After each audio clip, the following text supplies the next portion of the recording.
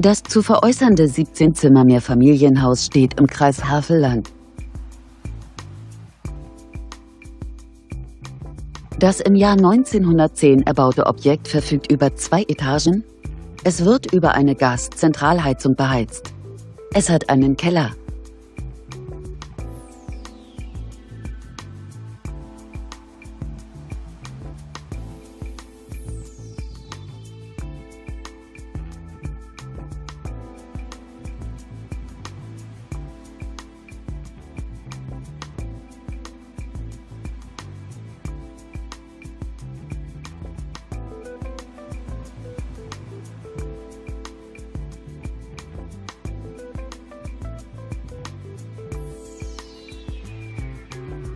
Auf einer Grundstücksfläche von ca. 1188 Quadratmetern weist das Gebäude eine Wohnfläche von ca. 476 Quadratmetern auf.